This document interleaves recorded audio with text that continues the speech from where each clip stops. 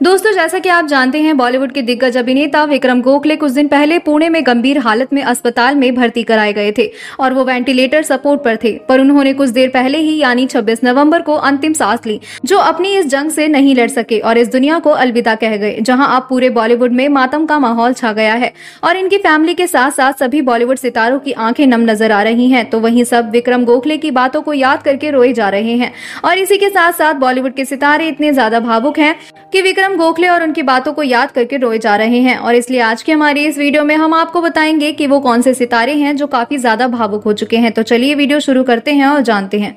Number एक, अमिताभ बच्चन। सबसे पहले बात करते हैं बॉलीवुड के बिग बी, यानी अमिताभ बच्चन की। बता दें कि जब इन्होंने विक्रम गोखले के निधन के बारे में सुना तो ये हैरान हो गए, क्योंकि इन्हें ये तो पता था कि विक्रम गोखले की इतनी ज़्यादा हालत खराब है, जब से ही इनके आँसू नहीं रुक रहे थे।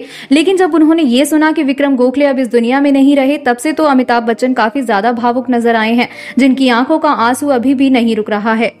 नंबर दो, अनुपम खैर। अब बात करते हैं बॉलीवुड इंडस्ट्री के टैलेंटेड अभिनेता अनुपम खैर की। बता दें कि जब इन्होंने अपने दोस्त विक्रम गोखले के निधन की खबर सुनी तो ये काफ़ी ज़्यादा भावुक हो गए, जिन्होंने दो दिन पहले ही अपने इंस्टाग्राम हैंडल पर विक्रम गोखले की एक काफ़ी इमोशनल वीडियो डाली थी, जिसमें विक्रम गोखले एक कविता सुनाते हुए नज़र आ रहे थे। लेकिन जब अनुपम खैर ने कहा कि कविता अधूरी रह गई है तो विक्रम गोखले का कहना था कि ज़िंदगी अधूरी है मेरे दोस्त, और आज अनुपम खैर की इसी कविता और इन्हें याद करके ये भावुक हो रहे हैं। नंबर तीन, स्मिता जैकर।